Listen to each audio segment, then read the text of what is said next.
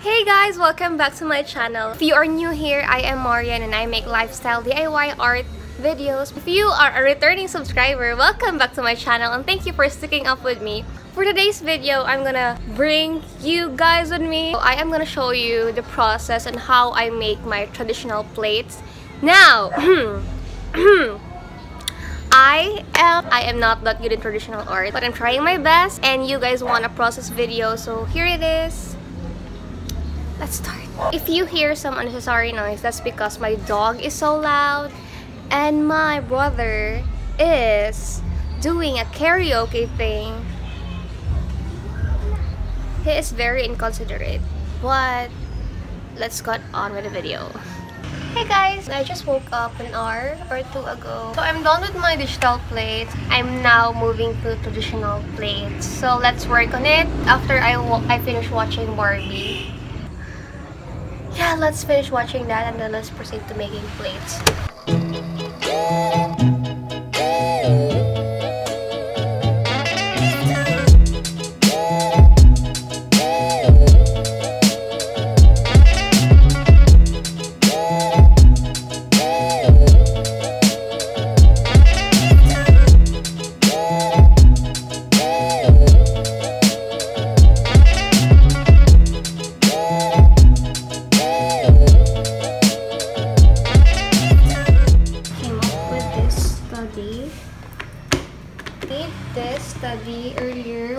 Watching Barbie and I just copied the Candice typeface. I simplified their faces into this. So let's get into painting. I'm just using gouache. Have, these are very old gouache paints and they are very dirty.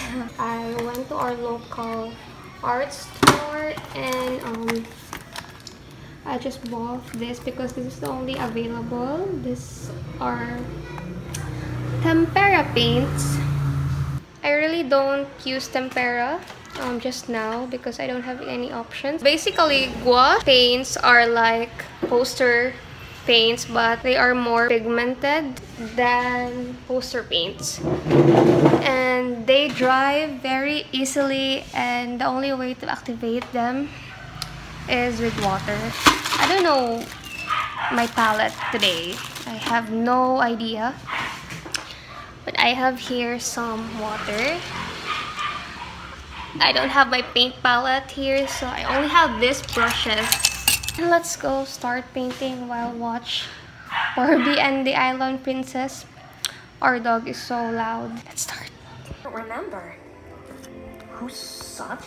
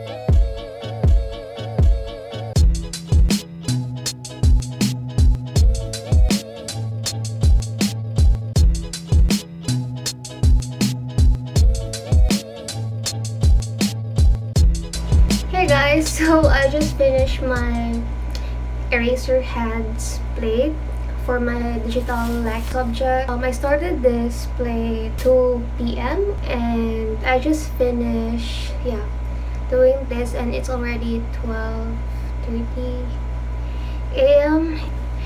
And this is what I came up with. Ah, let me just put this in a plastic and put this one in under the bed so it will be flattened. By the way, I look like this because I just um, finished washing my face because my face became so oily. And I'm so glad because I finished this in one day. I now have four more traditional plates to work on. I think that's it for today. Good night. Bye. So this plate is actually given to us by one of our major subjects. This subject is actually um, a graphic design class, but our professor wanted us to also hone our skills in traditional arts. That's why he gave us a plate um, to do a traditional poster of Eraserheads concert poster.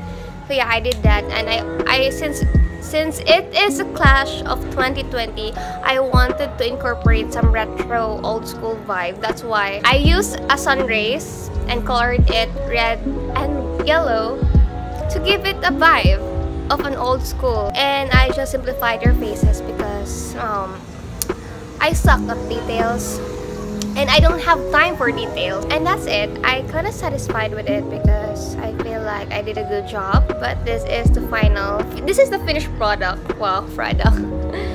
okay, that's it for the Eraserhead.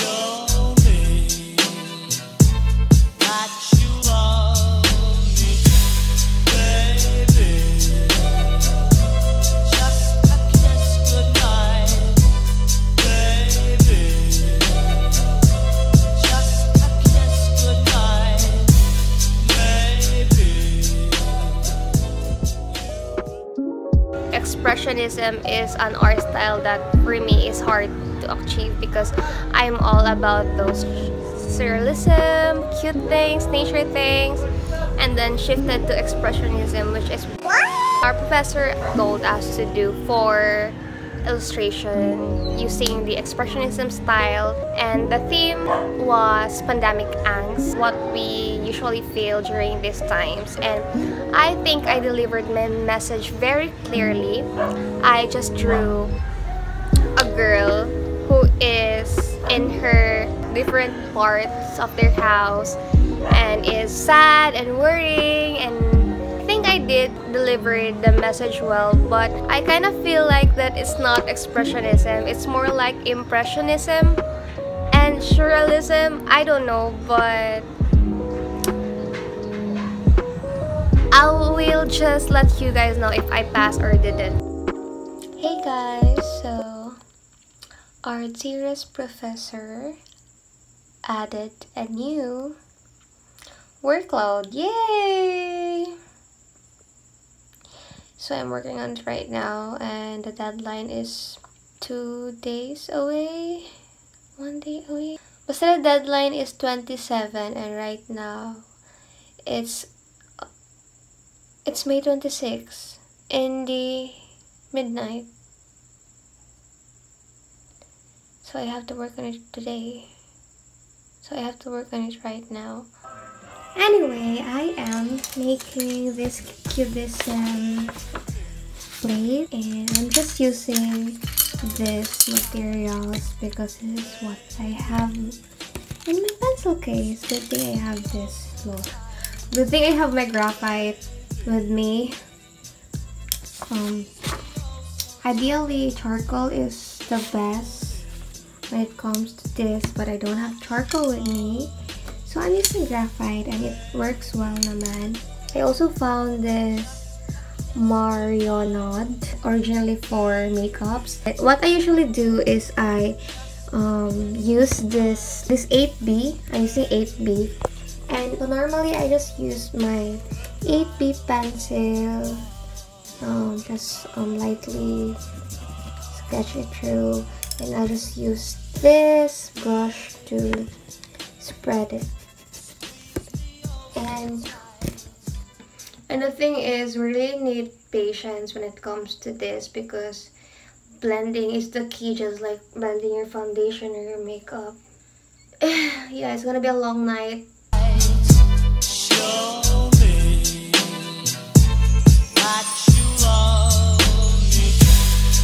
It's already 12 midnight. Yeah and I'm done finally with my cubism plate yeah, I have to write um, a paper about my plate. Why is it a cubism? What makes it a cubism art? What kind or type of cubism art is this? You know I know what a cubism art is when I see one. I don't have to like anyway guys I'm not yet halfway. I'm I've been writing this for like hours already. It's been like what five hours, and my mind is so empty. And I just want to end the semester because this is my last. This is my last class, and then yeah, I'm done with the semester, bitch. Yeah, I can't. I can't get any more words out of my mind. I hate using my brain. So basically, I have to like defend why would I defend? So I have to defend my plate and convince my professor that it is a cubism plate. So you might have understood cubism art is isolating and separating the elements of certain object into chunks and and then so yeah you have to do that in order for you to fuse various angles of the object by diminishing or simplifying the subject into cubes and other geometrical shapes. Do I make sense?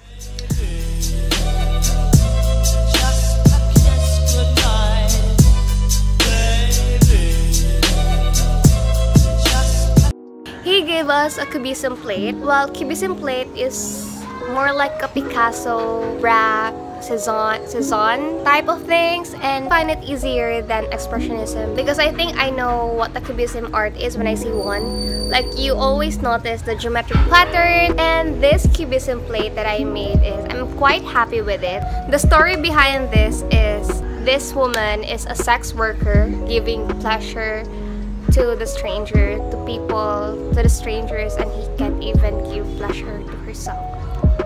Selflessness. She looks happy doing those things, but deep inside she is not. Like she is doing it to survive life. Before I end this video, I just want to say thank you guys for watching. And I also want to say that small progress is still progress. I'm not gonna lie that I still feel insecure about my traditional art. I am working in my own pace. We are working in our own pace and we'll get there as long as we practice and not give up. Wow, that's a big word. So yeah, thank you for watching and if you have video suggestions or questions, comment down below and don't forget to subscribe to this channel for more videos like this. And that's it. Thank you so much. Bye-bye.